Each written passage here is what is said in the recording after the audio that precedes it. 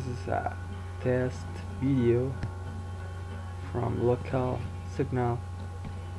This is the first video on this system. So we are testing out the, the data frame software and the hardware. So that's all. Okay.